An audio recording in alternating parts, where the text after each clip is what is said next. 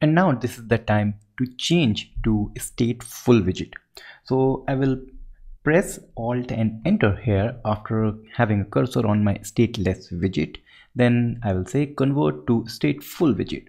So instantly everything is now converted to stateful widget. We don't have to do anything. And if I now save everything will work as it was working before but now we have a problem. It says all country is not a subtype of stateless widget.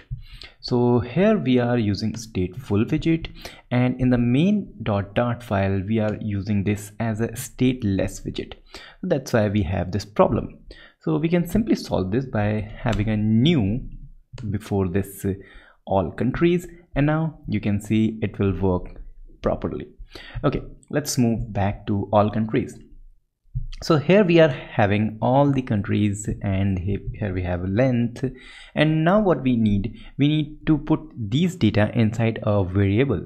So we are going to create a variable inside underscore all countries state. So this is very important. Here we are going to create. So i will create a list and list name is countries so it is empty for now. But here we are going to say countries is equal to response.data but previously we know that this will not work. We need to use set state. So set state will do our work.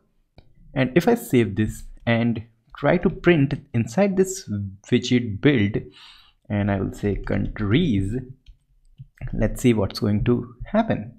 And yes we are having all the countries but every time anything is going to build it's now having a print inside our run.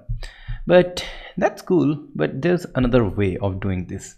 So here we are going to say init and init state. This means whenever this build function is going to run or whenever this uh, you can say widget this all country widget is going to create then before everything this function is going to run.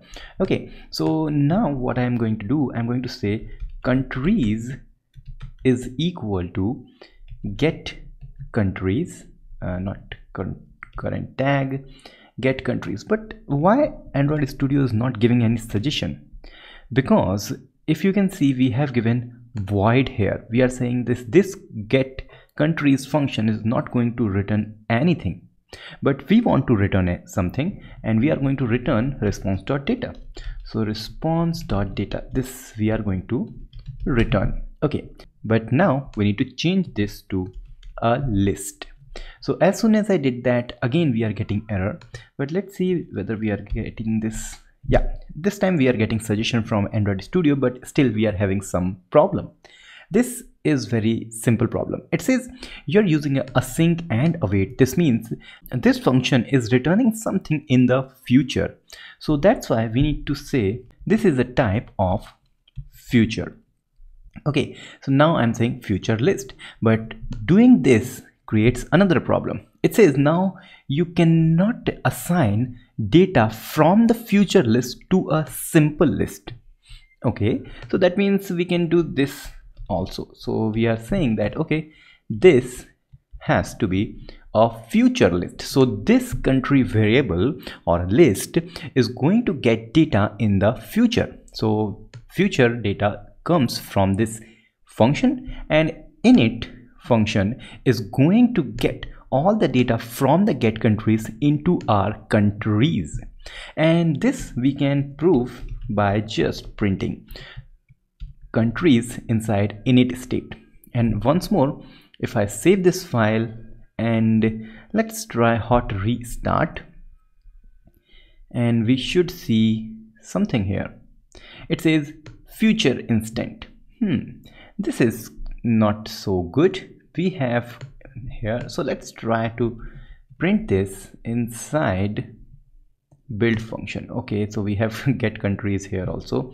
So let's print that here. And still it's saying print is countries. So what what's going to happen? Okay so as i told you this variable and this function is giving us data in the future. So we cannot even use that countries inside our list view because list view want data instantly. So what's the solution? Solution is using future builder. Okay so let's go to flutter website. And in this website let's search for future builder. This search is actually a simple google search so you will see the search is here. Okay so let's click here on this future builder class which is on the api.flutter.dev so let's make it big. Okay. So here is the example. So we can grab all these things from here. Copy. And what I will do first I will comment all these list view so that I can get something from here in the future. And this future builder comes here. Okay. That's cool.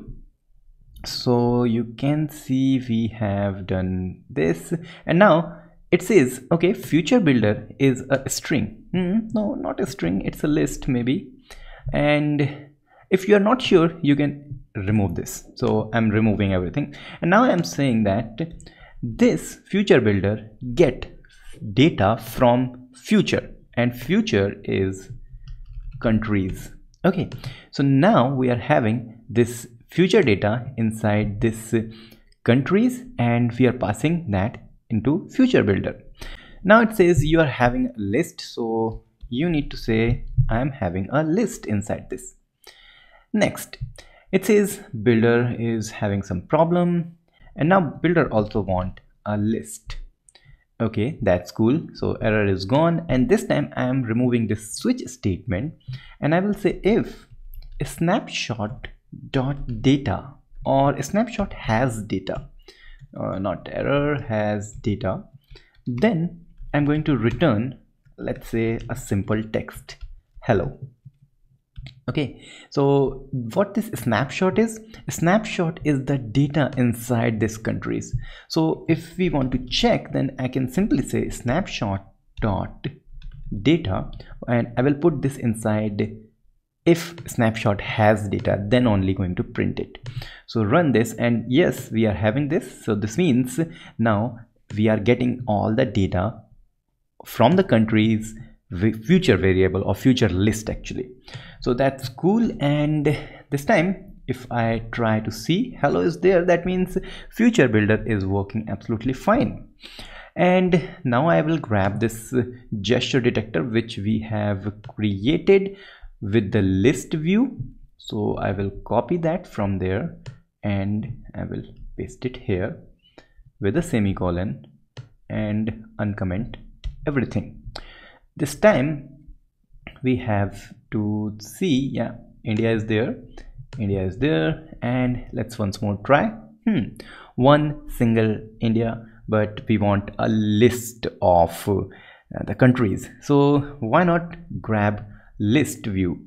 So what I will do once more I will cut this gesture detector and I will say list view or list view dot builder so list view dot builder get item builder what item you are going to build. So I'm going to build for gesture detector. Okay but it's giving error. It says gesture detector can be assigned to a widget function built in it. So we need to say here we are saying build context which will get context and then we will say index which is int. And this is going to return and like this return gesture detector and give a semicolon here at here and this is good. So we have a list of all the countries but now we need to put everything with the name proper name. So we know this uh, snapshot dot has data also has a snapshot dot data. So we can simply say snapshot dot data and then we can grab like snapshot dot data and with the index and getting the name. So simple let's have this. I think this is navigation so i need to come back with this kind of notation and paste it here so snapshot data and all the list of countries are available here. That's cool that's exactly what we want. So this is nice. And now let's pass the name to our countries because every time i visit any uh, click on any country it will have india at the top. So let's get back with the exact country name. So yes we can grab the same thing and pass it to here. So if i go algeria that's cool then virgin islands that's again very nice. And what we can do actually inside this countries uh, instead of having a name we can get the country full detail. So it's like a country and then country name. So this means we need to pass just this thing. So snapshot dot data and index. So let's have some it says problem. Okay yeah because this is not a string this is a list. So this is a list or a map. Yeah it's a map actually not a list. Okay so that's we got reloaded and this means now everything is going to work properly. And this is very cool and in the next episode we are going to see how we can actually uh, either we can do a filter like filtering the list because there's lots of countries or we can have some cards here to show the details like uh, population currency capital flag these kind of things which we know we are going to create. So we will meet in the next episode till then. Goodbye